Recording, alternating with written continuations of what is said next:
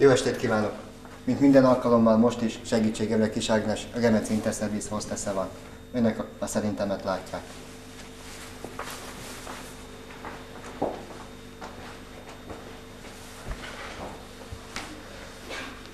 Ismerik azt az embertípust, aki, akivel szemben nem lehet közömbösnek lenni.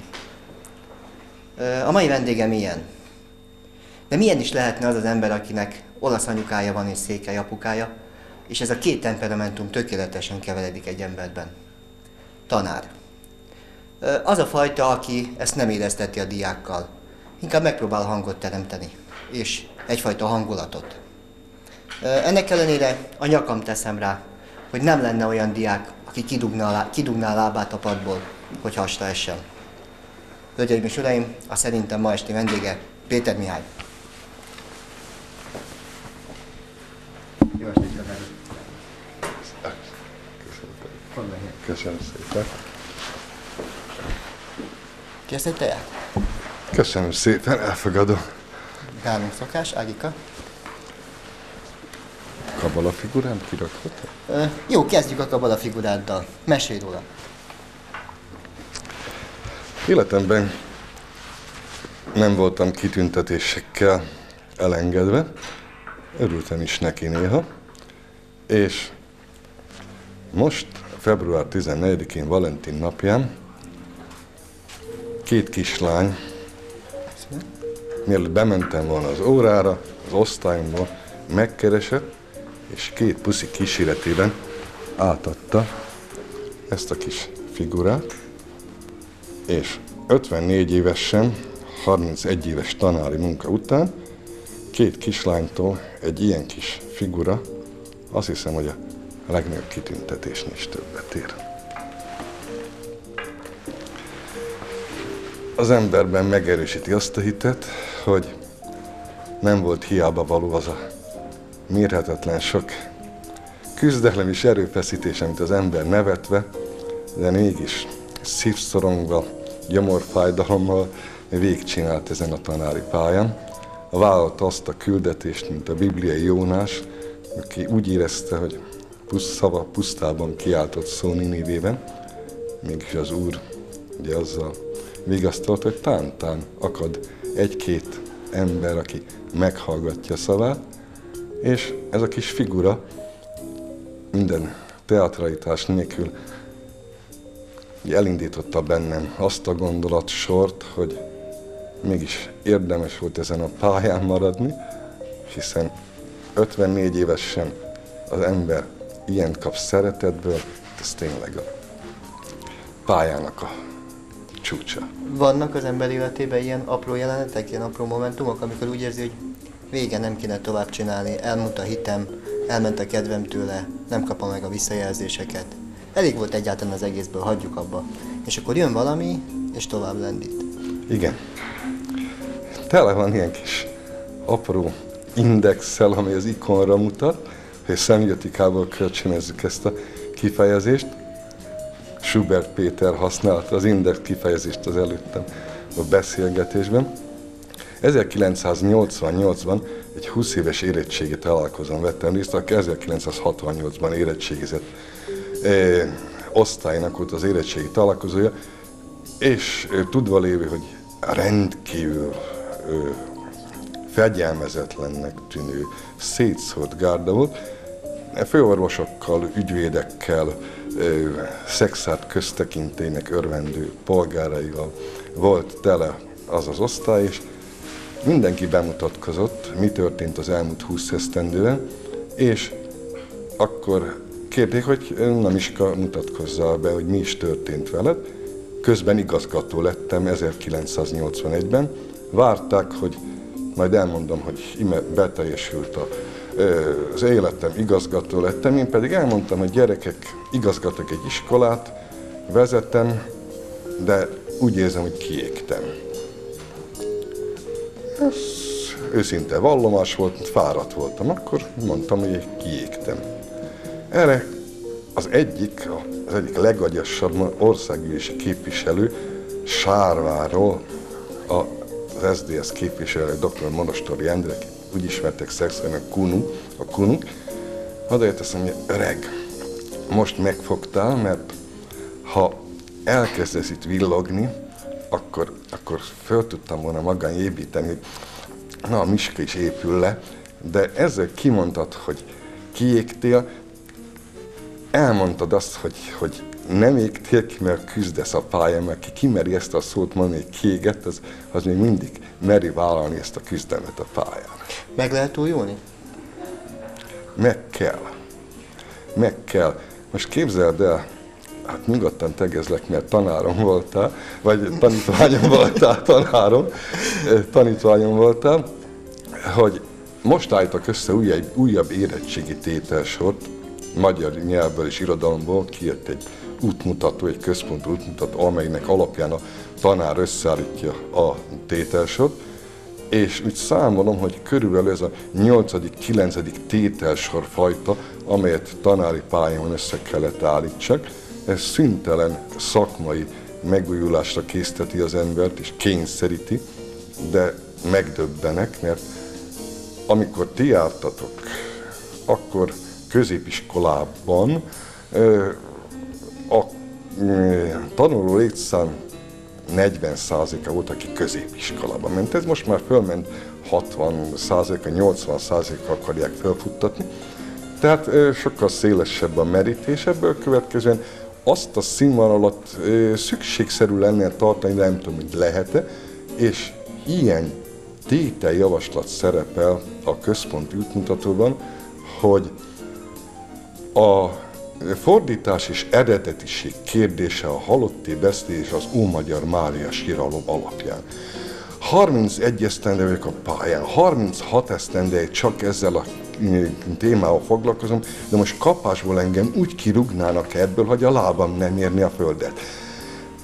Hát még hátra van, még nem tudom, az új nyugdíj törvényt nem fogadták el, kb. 6 év, de 8 esztendő, ha én még arra leszek kényszerít, hogy a fordítás és eredetiség kérdése az Ómagyar Mária sem és a halotti beszédbe, de hát mit csináljuk? Hát a pályán kell maradni, hát akkor föl kell Meg fogsz tanulni latinul?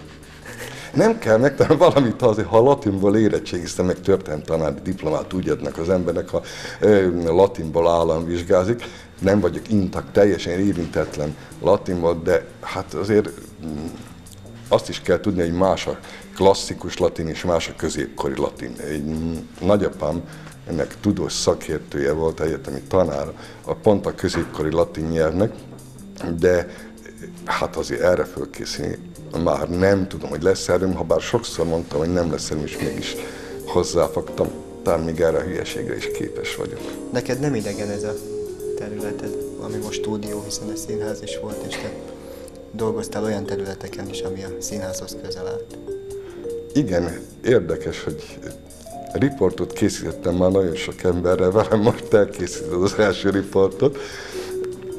Közel állt hozzám a színház, sőt eredetileg ö, színház rendezői pályára készültem, mert nem hittem el, hogy ilyen rossz gyerek, mint én lehet tanár, mert átkozható rossz gyerek voltam. És akkor Pál Istivel, aki jelen pillanatban a Veszprém Petőfi Színháznak rendezője, együtt indultunk, Istiből filmrendező lett, én is afelé tendáltam, de azután érdekes módon, ami eltérített nem csak az, hogy a feleségem, aki akkor már jeljesen volt, sőt, ötödében nősültem meg, mert félig feleségem nem óhajtotta, hogy színházi pályára lépjek, igaza volt, meg, hanem érdekes epizód is, hogy hát ötödében vizsgatanítást kell az ember bemutasson, hát vizsgázik, és történelmből egy hetedikes fiosztályt kaptam, ahol kellett. Azok pedig ismerték, hogy a tanár vizsgázik, és gonoszkodtak velem, és az első órán térkép a fejemre esett. Nem sikerült, mondom, nem, képtelen vagyok én ezen a pályán megmaradni. Akkor mondom, nem baj, akkor elmegyek mégis színházi rendezőnek, hát megbeszélem a jövendőbelimmel, hogy e, mégis színháznál maradok. És akkor beosztottak egy negyedikes lányosztályba, magyar nyelvet és irodalmat tanítani, és azok pedig megláthatták benne a megszeppent embert, vagy valami sajnálat, empátia, és szépen nem a kérdésem, háromszoros szaltóval adták vissza a kérdésemet, és én elkezdtem érezni, hogy mit jelent az, ha a tanács segíti a diák, és, és döntötted el? Hogy, hogy maradok a pályán. Érdekes, kuriózum megérzni, hogy jobb oldalt a másik, a, tehát a másik padban, jobb oldal, egy ilyen páros ült, hogy Mari Zsuzsi, és mellette jobb a Gabi, aki tragikusan meghalt ígéretes színésznő volt, és Mari Zsuzsi pedig jelenleg Klapka György neves vállalkozónak a felesége is, mint láttam, több gyermek édesanyja. Én őt tanítottam gyakorló tanárként. Te, aki ilyen közel állsz a kultúrához és által mindig, és hogy szemléled a mai kulturális viszonyokat Magyarországon? Nagyon kellemetlen a kérdés, mert kétségbe esik. Egy régi struktúrát lebontunk, egy újat kell felépíteni, ezzel tisztában vagyok. Annyira felvilágosult értelmiségnek tartom magam, hogy ezt észérvekkel fölfogom. A lebontást látom, de azt nem látom, hogy hogy fog kialakulni az a polgárság, az a magyar polgárság, amely a kultúrát olyan szintre tudja vinni, mint amilyen volt 1908 és 41 között a nyugat, hiszen meglepődtem, mikor tájékozottam, hogy a nyugat volt, hogy csak ezer számban jelent meg, viszont olyan szit olyan polgári réteg állt mögöttem, amely támogatta a megjelenését, és ugye a magyar kultúra 20. században nyugat nélkül elképzelhetetlen. 60 idáig csak segítették ezt, most nem tudom nem látom azt a kultúra segítő polgári közeget, amely egy nyugatot mondjuk tudna támogatni. Elfáradt? Elfáradt az értelmiség? Vagy belefáradt? Vagy bizonytalan. Vagy bizonytalan, modellt keres, hiszen gondoljunk csak bele, hogy nem tiszta modell volt, nem volt tiszta modell a két világháború közötti Magyarországnak képesen történetileg, történelmileg, szociológilag, ha világ megvizsgáljuk, akkor nem egy klasszikusan kapitalizálódott ország volt. Ott a Ijésnek a puszták népét elolvassa az ember, amit 1936-ban írt, akkor körképet kaphat arról, hogy milyen volt a 30-as évek Magyarországa. Most jött egy másik kísérlet. Akkor az értelmiség megpróbált igazodni.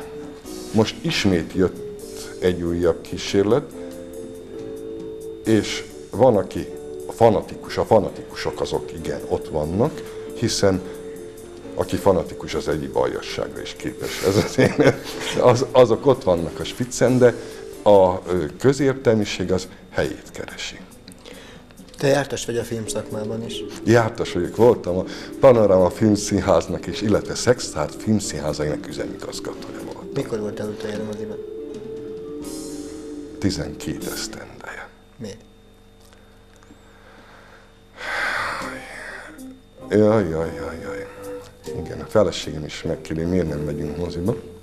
Egy, hogy borzalmasan erős dohányos vagyok, és megszoktam, hogy filmigaz, üzemigazgató koromban, hogyha rá akartam gyűjteni, akkor fönt volt tartva nekem, mint az igazgatónak egy szék, leültem és néztem a filmet, köztem kimentem és rágyújtottam, mentem vissza, a filmet megtekinthettem, hiszen több napig vetítették, és én, mint igazgató, részletek, azt, amit nem dohányoztam, dohányoztam, azt pótoltam másnap.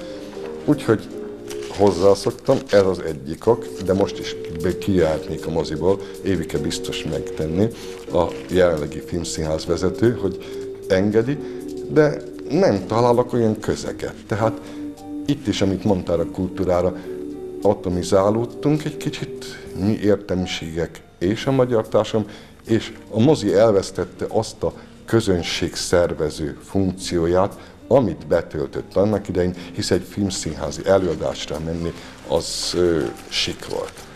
A másik ok, ami miatt nem járunk filmszínházba, hogy mikor bekötötték a kábel tévét, akkor utána Tarjancsi kérdi, hogy az HBO-t bekösen. Mondom, Isten őriz, én az 50-es években voltam gyermek, és én rengeteg szovjet filmet láttam.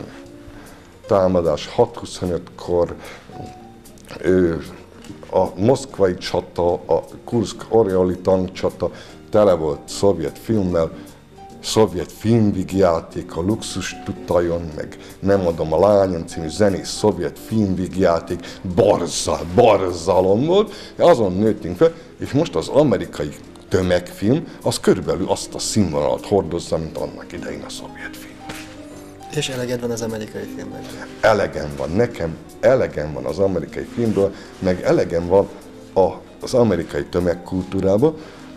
Múlt évben voltam fönn Budapesten történt tanárok országos továbbképzésen, és múzeum körútra kijövök, és én nézem, évek óta nem jártam Pesten, én Pesten vagyok. Itt egy ilyen reklám, ott egy olyan fölirat. Végül nem tudtam, hogy most Bernben, Zürichben, Párizsban, vagy éppen Budapesten vagyok, mert, mert mert mindent elaszta a szlengek, a kifejezések, a reklámfeliratok, tévét néznek. Hát végül már nem tudom, hogy ez Európa vagy Europe, Európa, hogy kell mondani, amerikanizálódunk, amerikanizálódunk. Szerinted uh, szexárd mentes ettől? Szóval megkönnyebbültél ezek után, amikor hazajöttél és leszálltál a Mindig megkönnyebbülök a szexárd. Most nem az szexárdnak hódalok, mert hódalok szexárdnak 31 esztendeje vagyok szexárdi, nagyon megszerettem ezt a kisvárost. Egyetlen egyszer éreztem, hogy szürke, mikor a feleségemmel mm, két éve Opátiából, Abáziából hazajöttünk, és leszálltunk a buszon, akkor, akkor találtam szürkének. Különben, mikor meglátom a szexádi dombokat, akkor a szívemet engedi, ez csodálatos. Visszatérve egy szexádon, hogy is mintál a kultúra, jobb, úgy érzem, mint az országos. A kicsit dicsérjem is a tévét. Hétkor megszoktuk nézni a szexádiradót. Néztük az előtte műsort is. Most, hogy megindult ez a nagy osztódás, egy kicsit kapkodom a fejem, mert nem mindig érek rá tanulmányi népújságot megnézni, hogy mi a, a műsor, és nem tudom, hogy most a Gábor Ade, Kindi Gabi a Pop TV-vel megye, ti mentek-e, a Dránavics Pisti megye, a Szexárd egye, vagy nem mi is a cím annak, nem tudom. Azt tudom, hogy hangolgatom a tévét, keresem, akkor Jézus Isten másik, így értesültem, hogy van egy másik tévé Szexárdon.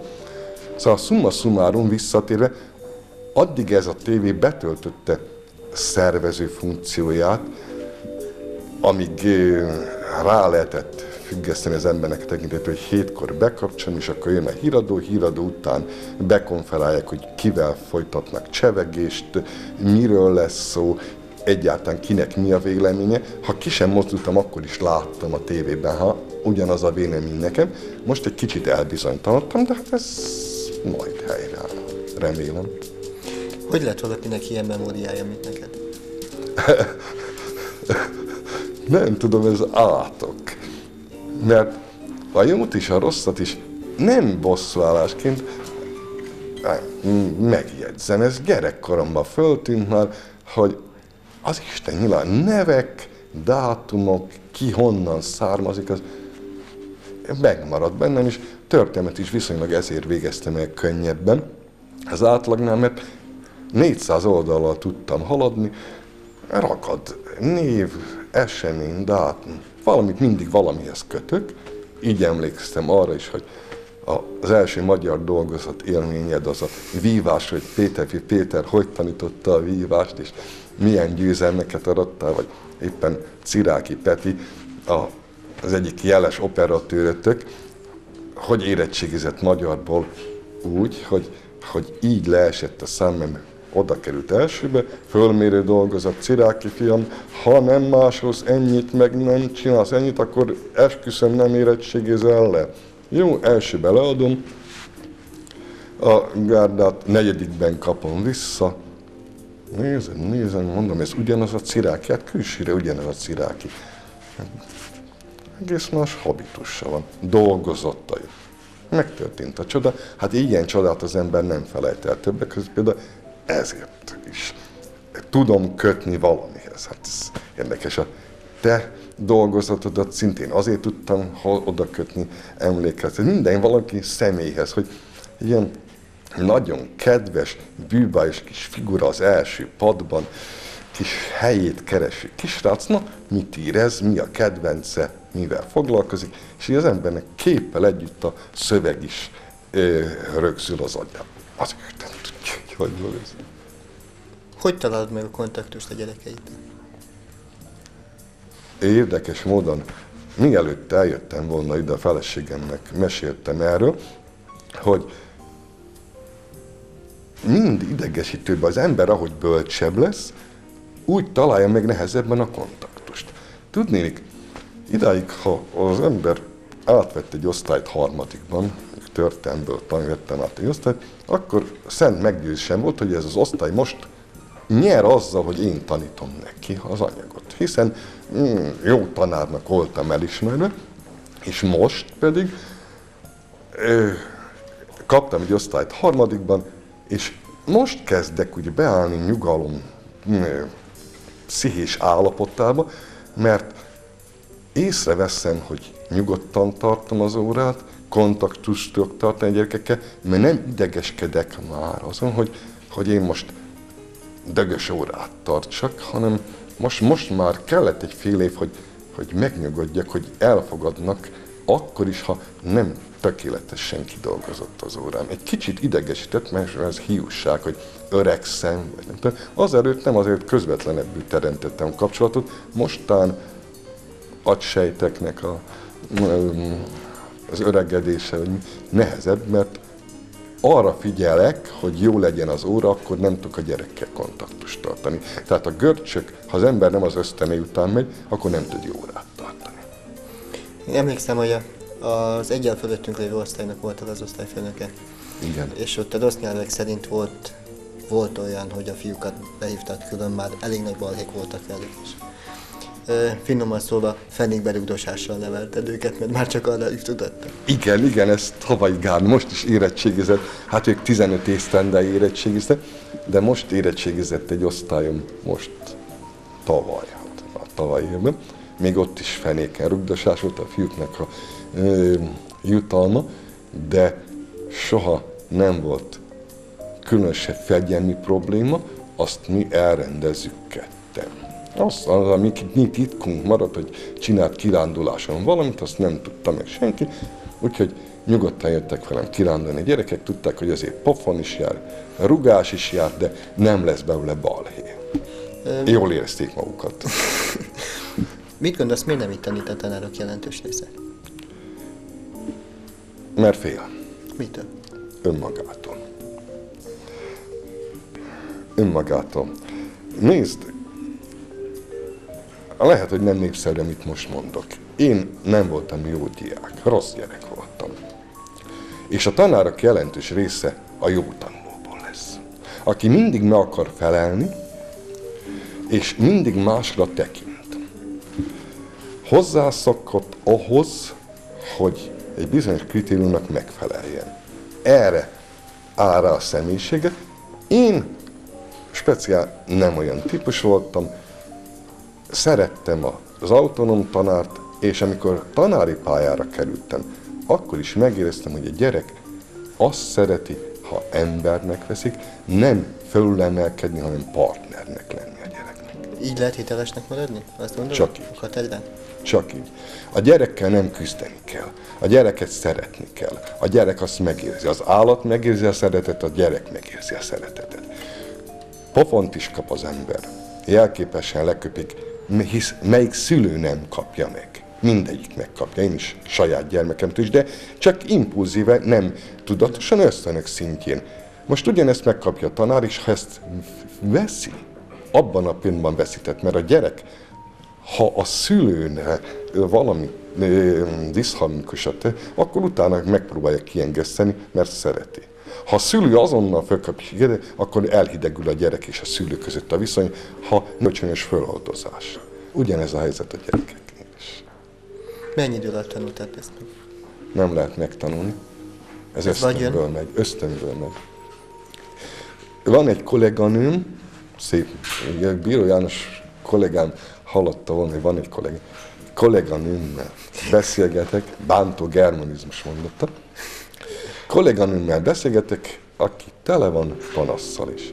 Mondtam neki, a gyerekkel dolgozni kell, nem küzdeni, mert a gyerek abban a pillanatban, hogy érzi, hogy küzd a tanár vele, tehát ellenfelet lát, abban a pillanatban ellenfélé válik, nem pedig partneré. Hogy lehet ma történelmet tanítani? Történelmet viszonylag könnyen lehet tanítani, irodalmat nehezebb. Azért nehezebb irodalmat, mert gondolatszegényebb a világunk, kevesebb információ a gyereket, mint annak előtte, történelm racionálisabb. Logikára fölfűzve sokkal jobban el lehet juttatni a gyereket történelmi élményhez, mint irodalmi élményhez. Történelmet tanítani nem nehéz, Jó, ok, okozat akkor úgy kérdezem, hogy, hogy hitelesen hogy lehet ma történelmet tanítani? Hitelesen hogy lehet történelmet tanítani, ez e, talán, talán olyan kérdés, hogy mintha az orvostól megkérdeznéd, hogy a rákot hogy lehet gyógyítani. Mert a történelmnek annyi nézete van, ahány pontot fölveszünk. Annyi oldalról lehet nézni. Lehet vizsgálni étkezés történetet, öltözködés történetet, munkás mozgalom történetet, amit tanítottam, az is egy történet. Dolgoknak története van. Ezeket milyen szempontból nézzük? Az, hogy milyen következtetés vonunk le belőle, az más. De hogy milyen következtetés vonunk le, az pedig attól függ, hogy milyen információk birtokában vagyunk. És Newton idejében a Newtoni klasszikus mechanikára fölépítette a felvilágosult értelmiség azt a világképét, hogy észre minden megoldható, és jött a 19. század végének tragikus összeomlása, Atya Úristen nem, és akkor jönnek az izmosok és az avantgard, mert összeomlik egy racionális világkép. Hát tudomásul kell venni, hogy világképek lesznek, és megsemmisülnek, és újabb világképek keletkeznek, és megpróbáljuk magyarázni. Érték ma még a magyar irodalom? Át, érték. Átadható ez az érték? Érték, érték a magyar irodalom. Átadható érték. A mai magyar irodalom ugyan épp úgy, mint a többi helyét keresi, de Baka István Szexád díszpolgára, kivel együtt tanítottam két esztendeig, volt iskolánk vendége, és olvasott fel saját verseim, és utána beszélgettem a gyerekekkel Baka Istvánról, aki tragikusan fiatalul hunyt el, és tökéletes vevők voltak a gyerekek. A Pistának a letisztult, életbölcselettel telt versenye. Élmény volt számunkra. Ebben a kaotikus, zűrzavaros világban letisztult, csodás életérzés. Tanár úr, mi minden műsor végén átadunk egy ajándékot. Az ajándék mindig ugyanaz, és mindig az Arsenal Westingtől kapjuk. Ez az ajándék mindig egy gyertya. Köszönöm. Ez a tiéd. Nagyon szépen köszönöm, Gáborkám. És ha... Hoppa, malőr. Van ilyen. Ha lesz egyszer még egy érettségi találkozunk, akkor utána este hazabír gyújtsd meg ezt. Nagyon szépen köszönöm, lírai a befejezésed. Köszönöm, hogy eljöttél. Nagyon szépen köszönöm, Gábor.